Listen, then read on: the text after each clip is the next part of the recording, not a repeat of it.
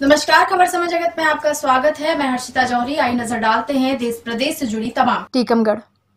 टीकमगढ़ में आशा कार्यकर्ताओं ने अपनी विभिन्न मांगों को लेकर कलेक्टर सुभाष कुमार द्विवेदी को प्रधानमंत्री के नाम ज्ञापन सौंपा। ज्ञापन में आशा कार्यकर्ताओं ने मांग की है कि हमें सरकारी नौकरी में नियुक्ति दी जाए, साथ ही हमारे परिवार के भरण पोषण की समस्या के दृष्टिगत हमारा वेतन अट्ठारह हज़ार रुपये प्रति माह किया जाए।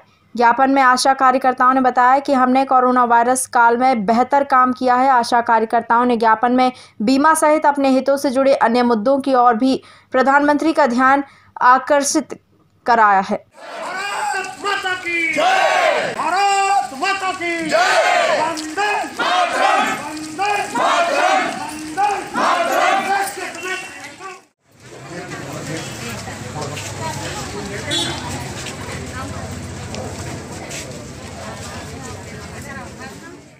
अंजना लटोरिया किस पद पे हैं? शहरी आशा।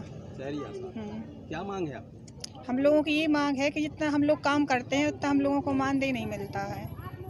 क्यों?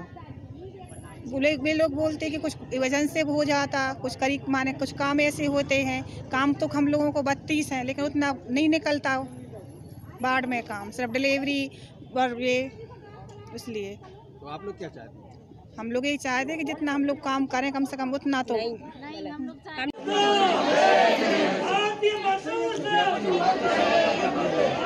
भारतीय मजदूर संघों के द्वारा माननीय प्रधानमंत्री और माननीय मुख्यमंत्री जी को ज्ञापन सौंपा गया है कुछ मांगों को लेकर। इसलिए जो हम उचित मार्ग के द्वारा कलेक्टर महोदय के मार्ग से जो है उनको अपेक्षित करेंगे और उनकी जो मांगे हैं उसको पूर्ण करवाने के लिए प्रयासरत रहेंगे। ये कुछ इस तरह की मांगे हैं इनकी कि जैसे विद्युत अधिनियम 2020 के माध्यम से जो वितरण में निजी क्षेत्र है उसका प्रवेश बंद करें है ना वर्तमान खबर समय जगत के लिए टीकमगढ़ से परशुराम अहिरवार की report for latest news subscribe to our channel and press the bell icon.